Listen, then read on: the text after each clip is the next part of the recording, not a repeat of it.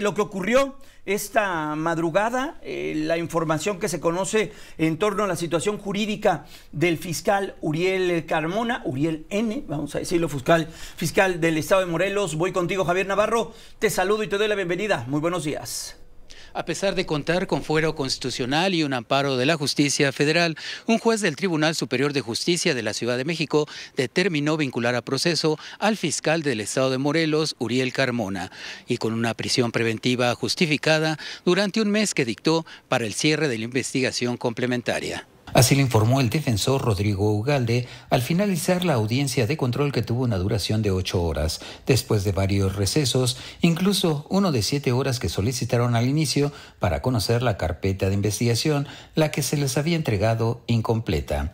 El abogado mencionó que esta vinculación es un hecho inédito y durante la audiencia el juez había determinado que no era una pena privativa de la libertad. Sin embargo, se fue el sonido y después de otro receso cambio de parecer y con relación al fuero mencionó que el juez dijo que no compartía el criterio de la primera sala de la Suprema Corte de Justicia de la Nación. El juez decretó incluso este, que, no, que no era pena privativa de libertad, sin embargo, inventó al final se fue el sonido misteriosamente otra vez y otro receso y pues bueno, no, no, no vamos a hablar más, al final del camino pues bueno, tenemos otras instancias y vamos a hacerlo, hacerlo valer. Tenemos obviamente pues este, muchas mucha fe en las instituciones. El abogado informó que la próxima audiencia se tendrá el 7 de septiembre y señaló que es algo muy grave que un fiscal que no cometió un delito y menos en esta jurisdicción haya sido vinculado a proceso con fuero constitucional. Y eso nos está dejando en un estado de indefensión y se pierde el Estado de Derecho en nuestro país. Con imágenes de Miguel Ángel Brígido y Julio César Reyes, reportó para Fórmula Noticias Javier Navarro. Bueno, pues eh, más allá, porque uno luego cuando da su punto de vista, no, es que tú estás a favor de un feminicidio. No, no, no. A ver, que se encuentre y que se busque a quien tenga una responsabilidad. Y si este señor hizo un mal trabajo desde la fiscalía, había otra manera de poder llegar a él que no fuera de esta manera. ¿Cómo? A través de su Congreso, le retiran el fuero, lo retiran y ahí sí, ya la justicia puede llegar con él. Lo que dice el abogado no es que uno esté a favor o no de un delito de feminicidio, no. Qué bien que se busquen los culpables y que se llegue al fondo de lo que le sucedió a Ariadna Fernanda a manos de este Rautel N.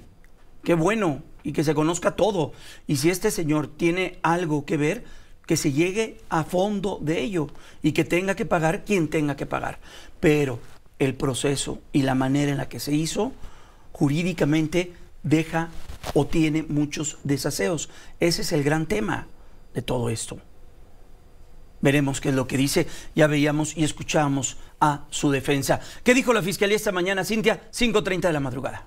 Pues Jaime, a través de Twitter, precisamente la Fiscalía puso el siguiente mensaje. La Fiscalía de la Ciudad de México informa que los datos de prueba aportados por el Ministerio Público permitieron obtener auto de vinculación a proceso con prisión preventiva justificada en contra del servidor público Uriel N por su probable participación en el delito de retardo de justicia. Y pues esto lo hace acompañado de una foto, una imagen, Jaime, en donde aparece pues precisamente el fiscal ahí leyéndole sus derechos. Bueno, veremos qué curso toma este caso aquí en la capital de la República Mexicana y como le decimos, sí, muy importante este caso, muy importante que no quede impune el asesinato de una joven que murió a manos de una persona presuntamente aquí en la Ciudad de México y que su cuerpo fue abandonado en el estado de Morelos y que la autopsia realizada por el equipo que encabezaba en ese momento Uriel Carmona, Uriel N, hoy,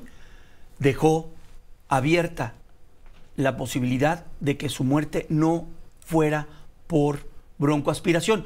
Como era el argumento, ellos habían dicho es por broncoaspiración, aquí está el cuerpo, lo sentimos mucho, vamos a lo que sigue. La Fiscalía de la Ciudad de México, a petición de la familia, es cuando hace una segunda autopsia y es cuando encuentra que el cuerpo de la joven tiene golpes contusos que le pudieron haber llevado a la muerte. Y ahí es cuando empieza esta disputa, que lleguen hasta el final. Y si esta persona está de alguna manera vinculada a este asesinato o a algún procedimiento erróneo, pues que la justicia lo diga y que los ministerios públicos actúen. La otra parte es la que también hay que detenernos y hay que analizarla, la manera en la cual se llevó ante esta justicia. Vamos a ver qué es lo que ocurre en ese sentido.